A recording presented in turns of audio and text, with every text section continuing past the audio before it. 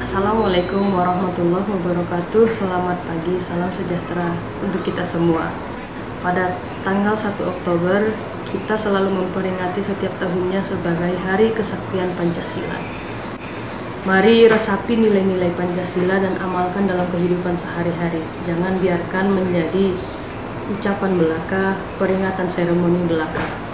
Terkhusus untuk anak muda di Kabupaten Manaing Natal, mari bersama-sama membangun Madinah yang pada akhirnya kita ikut berkontribusi membangun bangsa. Demikian, Assalamualaikum warahmatullahi wabarakatuh.